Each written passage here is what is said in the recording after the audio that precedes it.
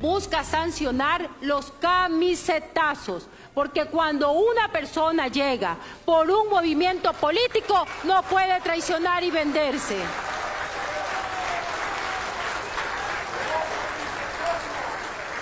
Cuando este proyecto de ley se haga realidad, aquellos que llegaron por un movimiento político y sí hacen acuerdos por debajo de la mesa, perderán la dignidad por la que fueron elegidos. De eso trata este proyecto de ley que quedó ya con un informe para segundo debate y recalco. La nueva Asamblea tiene que hacerlo realidad porque de esa forma se acabarán los mercaderes de la política.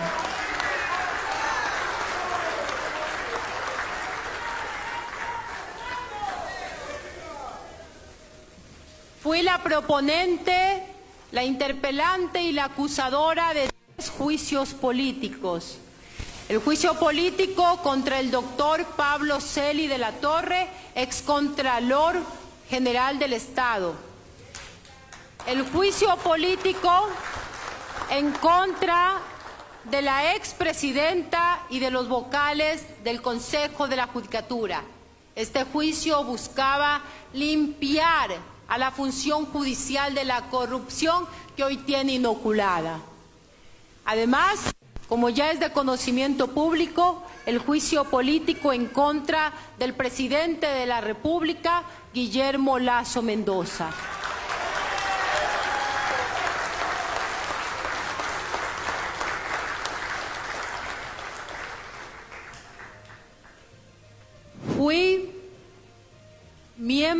De la Comisión de Biodiversidad en estos dos años de gestión. Y en el 2022 mantuvimos 133 sesiones, 28 propuestas de ley, 354 horas de sesiones, 49 resoluciones, 178 comparecencias de autoridades, 330 actores recibidos en comisiones generales. Además, también tuve varias intervenciones y acciones dentro de varias comisiones especializadas y ocasionales. La Comisión de Biodiversidad, la Comisión de la Verdad y la Justicia y la Lucha contra la Corrupción, el caso Gran Padrino o Encuentro, en el que está involucrado el presidente de la República, Guillermo Lazo, la Comisión de Garantías Constitucionales, la Comisión de Justicia y Estructura del Estado, la Comisión de Soberanía Alimentaria, Integración y Seguridad Integral, la Comisión de Transparencia, la Comisión del Derecho a la Salud, en la que hicimos comparecer a la ministra Jimena Garzón por el abandono a los hospitales y subcentros de nuestra provincia, la Comisión Especializada Permanente de Desarrollo Económico, Productivo y de la Microempresa, en la que trabajamos arduamente para lograr la derogatoria del paquetazo tributario, la Comisión de Fiscalización y Control Político, que investigó el caso Danubio, que también estaban y siguen involucrados y está en investigación por parte de la Fiscalía, varios ministros y gente cercana al presidente Lazo, así como los juicios políticos que llevé a cabo. La Comisión de Educación, en la que hicimos comparecer a la ministra María Brown, también por las unidades educativas de nuestra provincia, además también por el concurso de directivos de las unidades de Santo Domingo de los Áchilas, además también de la representante de la CENESID por la Universidad Pública de Santo Domingo de los Áchilas.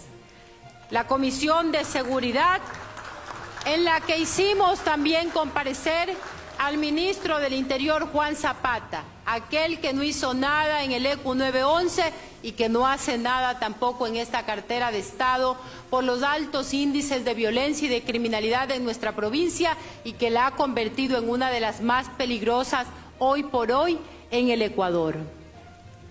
Mantuve 55 intervenciones en el Pleno de la, Asamblea Nacional, una de las voces que más se escuchó en la Asamblea, peleando por los derechos de la gente, orgullosamente de Santo Domingo de los Áchilas, fue de su servidora.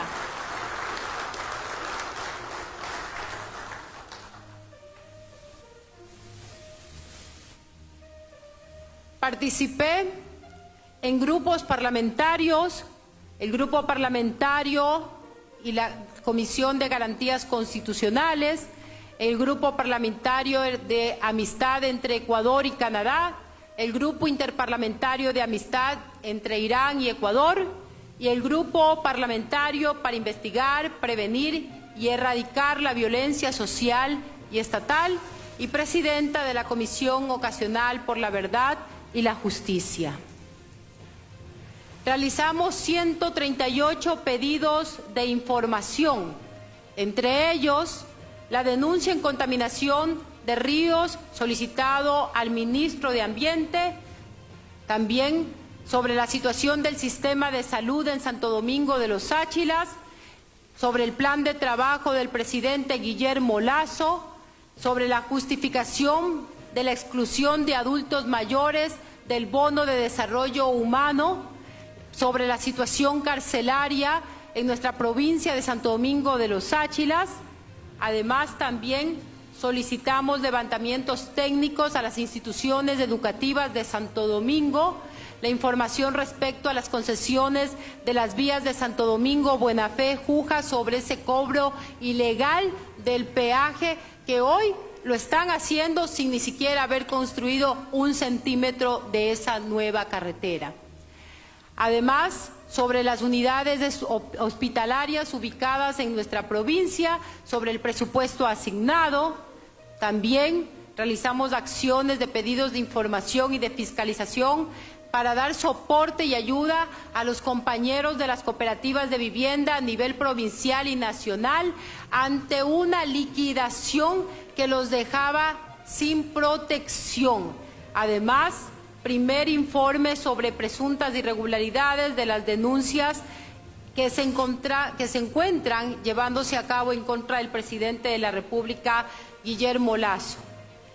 Otras acciones de fiscalización que hemos llevado a cabo, como lo mencionaba, la situación del sistema de salud, la situación de la inseguridad en nuestra provincia, sobre la contaminación ambiental, sobre la situación del sistema de vigilancia del ECU 911, la crisis carcelaria, además también Fiscalización ardua y constante desde la fecha 18 de mayo del 2021 en materia de la fiscalización de la ejecución para la Universidad Pública de nuestra provincia de Santo Domingo de los Áchilas, fiscalización en la Unidad de Análisis Financiero UAFE y de la Contraloría General del Estado.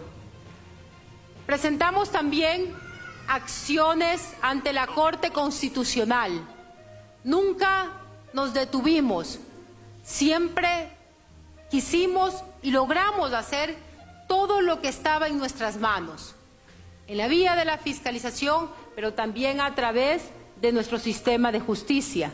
Presentamos la acción extraordinaria de protección por el cobro anticipado del peaje Santo Domingo-Juján ante la negativa del ministro Cabrera de dejar sin efecto ese cobro y estamos a la espera de que la Corte Constitucional se pronuncie.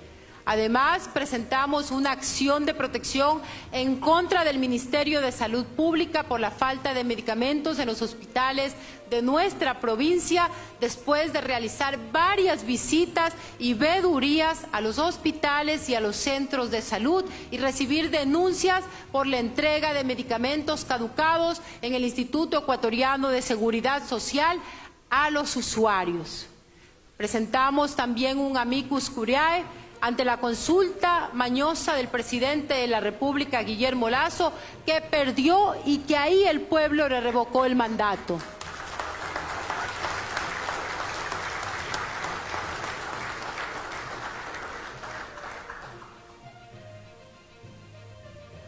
Hemos también presentado denuncias en la Fiscalía General del Estado. Presentamos la denuncia en contra de los vocales del Consejo de la Judicatura por el presunto delito de tráfico de influencias. Ya han sido llamados para la formulación de cargos y esperamos que el país tenga verdad. Nunca nos equivocamos cuando presentamos el juicio político. Y como en aquel momento hubo legisladores que negocian sus votos, se salvaron de la destitución. nosotros presentamos acto seguido la denuncia en la Fiscalía y el tiempo nos está dando la razón al momento de formularles cargos.